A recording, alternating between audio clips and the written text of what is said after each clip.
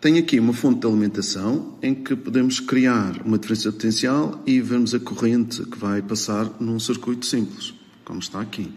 Vamos verificar a, a lei de Ohm, que se eu aumentar aqui a, a tensão, começa a passar mais corrente.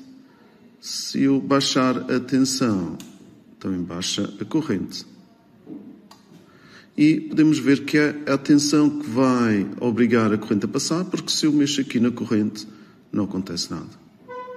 Ok? Não acontece nada.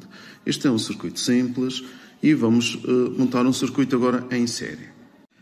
Para montar o circuito em série, vou precisar de duas lâmpadas. Vamos, este caminho aqui tem que agora vir para, para este, para este terminal e juntar assim.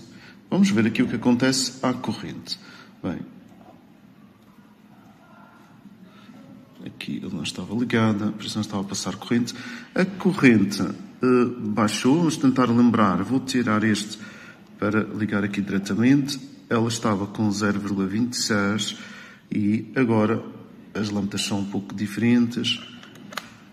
Não fica exatamente a metade, mas tenho o, circuito em série. Se eu abrir aqui, não vai apagar a outra. Não deixa passar uh, a corrente.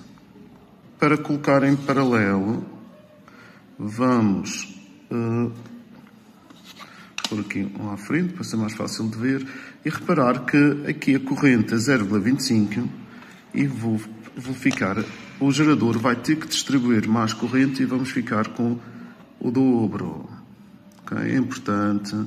A tensão manteve-se. Aqui tem um gerador ideal e uh, vamos ter sempre, se, se eu desligar, se eu desligar esta lâmpada, ela passa só a corrente, então significa que em paralelo é, estou a somar as correntes, mas o gerador é que tem que uh, libertar mais corrente.